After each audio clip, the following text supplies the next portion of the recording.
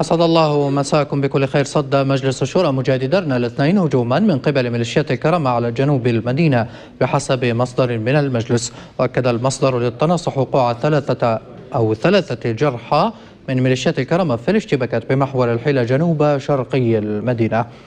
طالب عدد من أبناء قبيلة العواقير بمنطقة المبني شرق بنغازي ميليشيات الكرمة بالإفراج الفوري عن وكيل وزارة الداخلية بالحكومة المقترحة فرج قعيم العواقير في بيان مصور الأحد دعوا قبائل برقة لتحديد موقفها مما وصفوه بجرائم السرقة وحرق وهدم وهدم أملاك المدنيين على يد ميليشيات الكرمة مستنكرين في بيانهم هدم عناصر تابعة لميليشيات حفتر بوابة برسس أكد عضو الهيئة التأسيسية لصياغة الدستور نادي عمران الأحد أن مشروع قانون الاستفتاء الذي صوت عليه ما يسمى بالإعلان للدولة جاء نتيجة لتواصل أعضاء الهيئة المستمر مع أعضاء المجلس. أضافت عمران في تصريح صحفي أن مجلس النواب المنحل ملزم بإصدار قانون الاستفتاء مشيرة إلى أنه يتحجج بالقضاء لعدم إصداره لقانون الاستفتاء بناء على الحكم الصادر من محكمة البيضاء.